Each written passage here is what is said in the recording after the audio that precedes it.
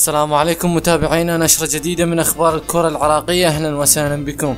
أسفرت قرعة كأس الخليج العربي بنسختها الثالثة والعشرين المقرر إقامتها في العاصمة القطرية الدوحة عن وقوع منتخبنا الوطني العراقي في المجموعة الأولى إلى جانب منتخبات قطر والبحرين واليمن. فيما ضمت المجموعة الثانية كل من السعودية وعمان والإمارات. ومن المقرر أن تقام بطولة كأس الخليج خلال الفترة من ثالث والعشرين من ديسمبر حتى السابع من يناير بالدوحة ولم يصدر الاتحاد الخليجي للعبة أي تلميحات أو بيانات بشأن تأجيل البطولة حتى الآن. وسط شكوك حول مشاركة السعودية والإمارات والبحرين مع استمرار الحظر المفروض على الكويت حتى الآن وقرار المقاطعة من ثلاث بلدان خليجية يبدو من الصعب إقامة البطولة في الوقت الحالي حتى بعد أن أجريت القرعة.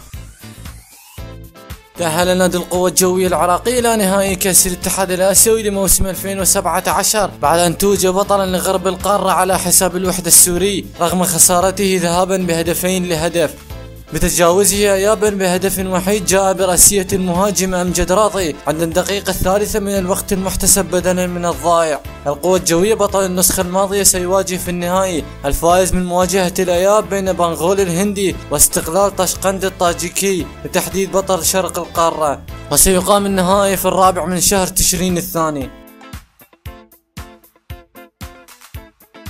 اختتم منتخب شباب العراق بقيادة المدرب قحطان كثير تحضيراته للمشاركة في كأس العالم. تحت 17 عاما بالتعادل الإيجابي بثلاثة أهداف لمثلها مع شقيقه المنتخب السوري في المباراة الثانية التي أقيمت على ملعب الفيحاء في المدينة الرياضية في البصرة.